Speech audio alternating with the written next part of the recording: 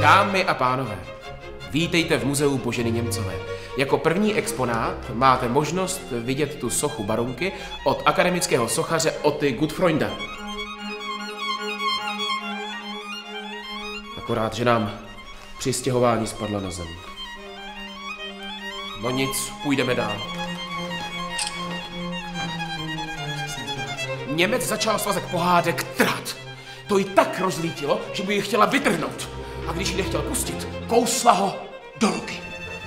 Božena Němcová se živila převážně praním, uklízením a příležitostným psaním.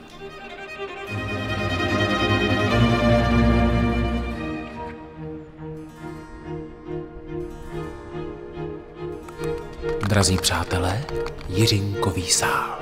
Místo, kde si Božena Němcová při tancovačce zvrtnula kotník. Naší poslední zastávkou je Barunčina škola, kam Božena Němcová docházela v letech 1824 až 1833 za studiem. Prosím, povšimněte si nápisu na lavici. Slunce pálí, obloha je modrá, co je mi potom, chci už být doma.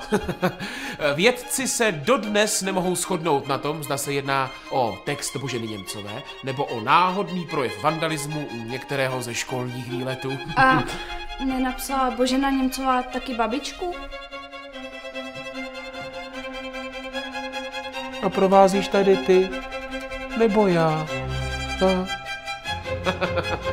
tak, kde jsme to skončili? Božena Němcová byla znamenitou. Její učitel si...